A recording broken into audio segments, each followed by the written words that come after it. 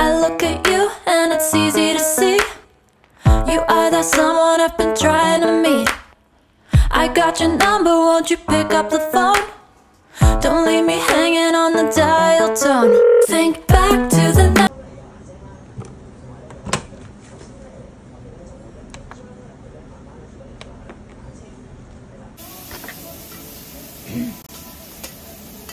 ini nasinya udah matang nanti kita tambahin uh, cuka untuk sushi dan juga kita tambahin gula gula pasir ya teman-teman. Tapi nunggu dingin dulu baru kita campurin.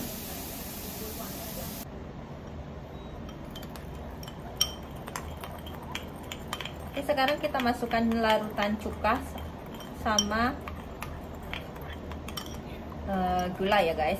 Jadi untuk gulanya itu 60 gram untuk cukanya itu 180 ml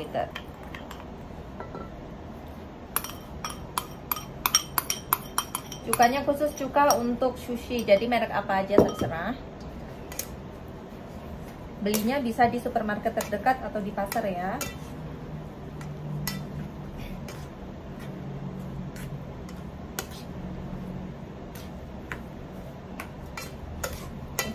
Kita mix dulu. Setelah itu baru kita cetak saya juga udah beli kinori. Kinorinya merek apa aja? Kalau saya barusan beli yang merek ini merek Korea. Kita coba untuk yang merek Korea itu bagus atau enggaknya. Kalau biasanya saya beli merek yang merek Chinese sih merek Cina gitu. Berhubung tadi nggak ada jadinya beli merek itu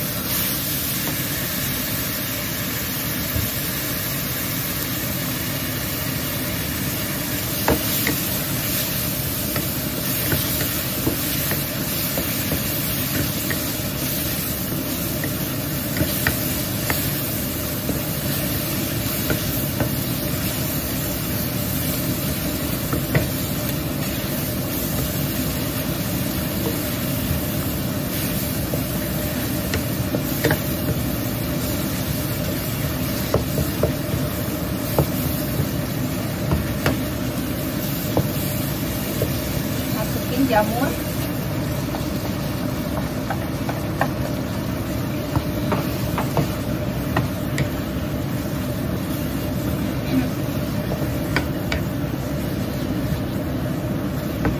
ini nanti untuk isian sushi ya. Jadi kalau bikin sushi itu diisi apa aja tuh bisa.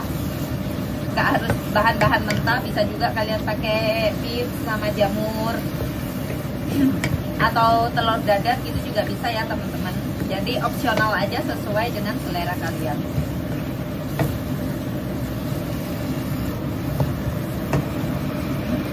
Ada wijen ya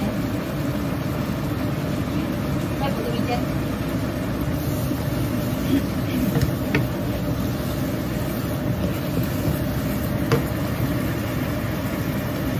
kita tambahin kaldu jamur.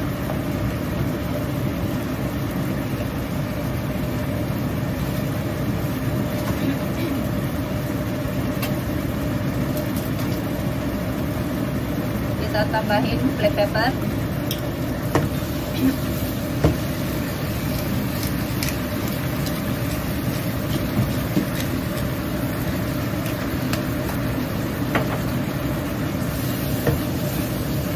saya ada sedikit wijen kita tambahin wijen. Ini favorit suami saya ya guys. Jadi ini resep saya yang udah saya cobain untuk suami dan ternyata dia suka. Jadi kita berkreativitas sesuai kreativitas masing-masing aja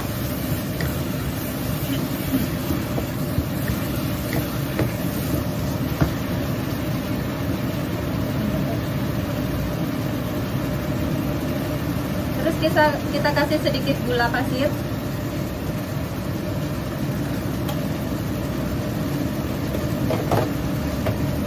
sedikit garam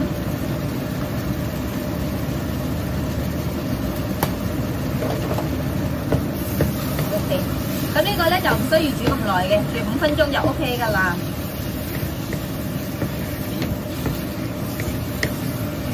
有少少汁湿湿地咁就好好好食噶啦已经。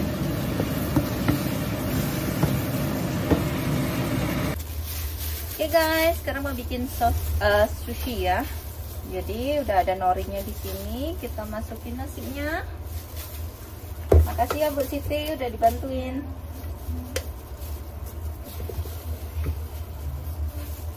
Agak riba ya guys karena emang dapurnya kecil. Jadi kalau ada cetakan ini tuh lebih efisien gitu ya, lebih lebih fleksibel gitu.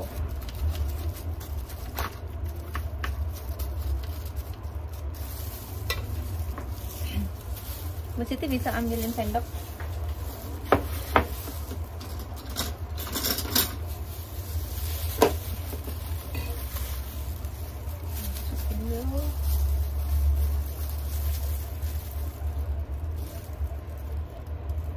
Terus nanti kita tutup lagi pakai nasi. Jadi nasi lauk nasi gitu ya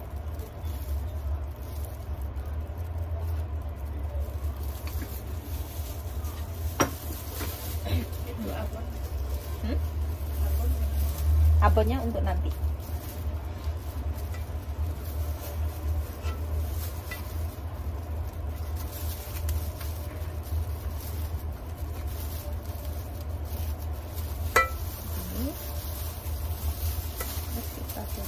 Tuh ini apa norinya pecah. Terus kita press saja. Kita tekan oke kita tarik dan jadi deh. Simple banget kan cara bikinnya? Terus nanti kita iris-iris. Jadi bikinnya gini aja ya teman-teman. Super easy. Kalau seandainya kalian ngerasa hmm, kurang apa namanya kurang rapat gitu dirapetin lagi nggak apa-apa. Dah. Jadi bentuknya perfect kan sempurna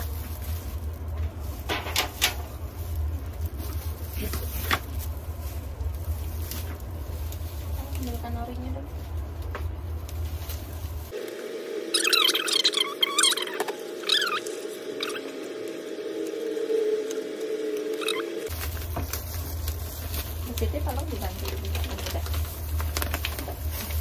kasih ini kita taburin aja sedikit. Oke. Terus kita kasih daging non halal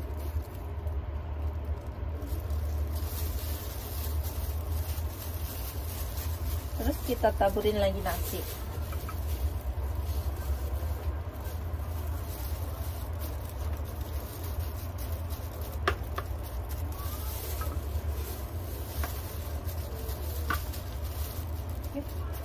terus kita gulung deh.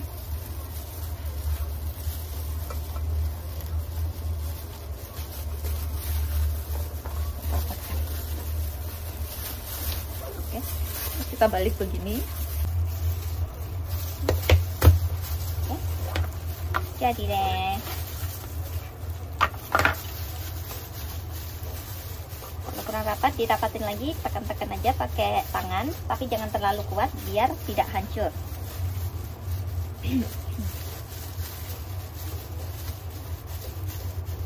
Oke.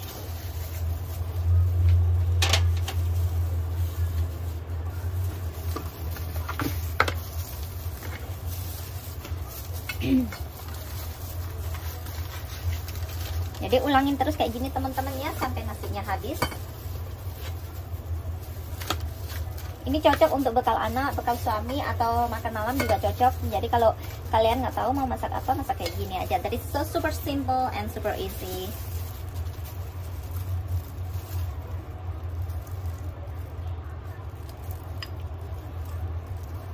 Okay guys, thank you for watching. Bye bye.